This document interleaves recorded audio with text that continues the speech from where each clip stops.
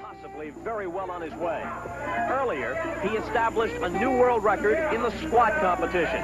804 pounds on the bar, and Larry is more than equal to the task.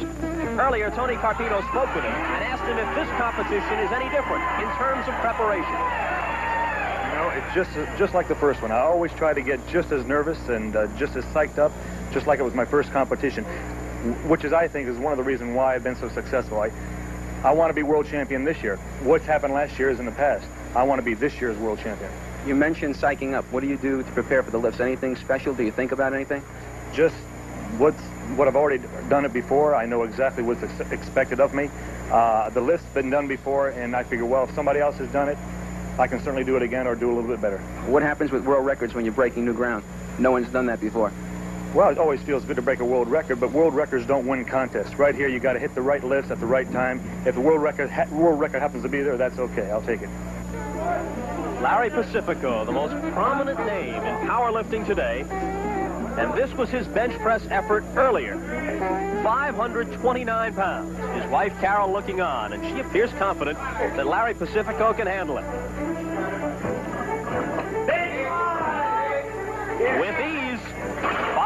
529 pounds. Lift looked easy enough, but you notice Larry did go for his shoulder. I think that injury may be bothering a bit. Injury or not, he still has a lead of more than 100 pounds over his closest competitors, and apparently he's on his way to another title. When we return to Madison, Wisconsin, we'll have the final installment of this year's Larry Pacifico story.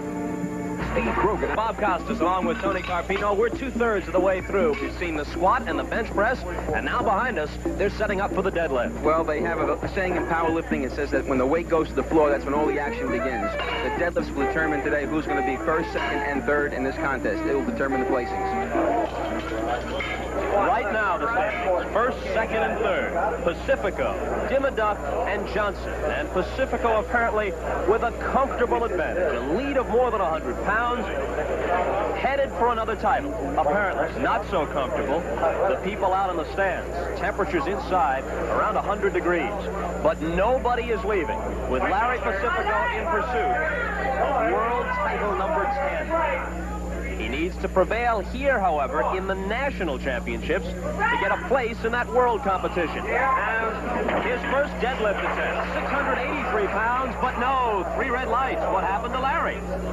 It looks like they might have called him for not getting his shoulders back, Bob. Well, I'm sitting here out front, but you have the angle from the back, the same angle that we're looking at here, the judge's angle, and maybe we can tell. Let's look at the shoulders. Back straight, shoulders back. If he lifts borderline, could go either way. And it went against him. Yeah, the judges normally give the lifter the benefit of the doubt, but in their opinion, the lift was no good. And now here's Larry, right back. 688 pounds on the bar. That's an increase of, oh, between five and six pounds, about two and a half kilos, which is the minimum increase in weight allowed in powerlifting rules. If he gets this, it's in the bag, but I don't think he has it. He didn't get it. He didn't get it. He's in trouble. And wife Carol has to be concerned. It appeared to be a title in the bag, but suddenly he's in trouble. He, he never had control of the weight. I can't believe what's happening. I mean, he should have... Now you can get three months free with your adult films. More family pro. Three. Something's going on by the table. Judge Lyle Schwartz trying to explain a ruling to Larry Pacifico as they add some weight for what would be his third attempt. I thought I may get three attempts no matter Bob, I'm going to get over to the table. what. God, I didn't know the rule. Judge Schwartz trying to find the rule here for Larry Pacifico, and if I'm not mistaken, they may deny him attempt number three. My second attempt. But he said it was my second attempt. That's right. Yes, second attempt. There's no third attempt. an increase. The progression is by at least five kilograms at a time, and a request for two and a half kilograms only indicates the last attempt. I still don't interpret it that way. All the international referees do. There isn't any. There isn't any question about this rule.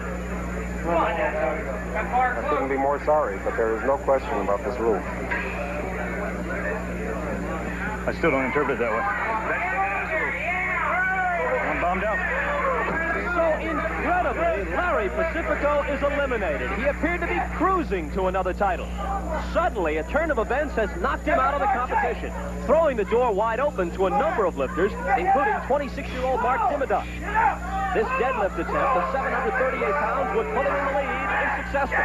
He's got it, but the big story is still Larry Pacifico, and here he is. Larry, what happened up there? Well, I guess I was in into a ruling that I, I wasn't aware of, I'm afraid. Um, if you only jump 2.5 kilos, which I did from the first to the second, I missed my first. I jumped 2.5 kilos to my second.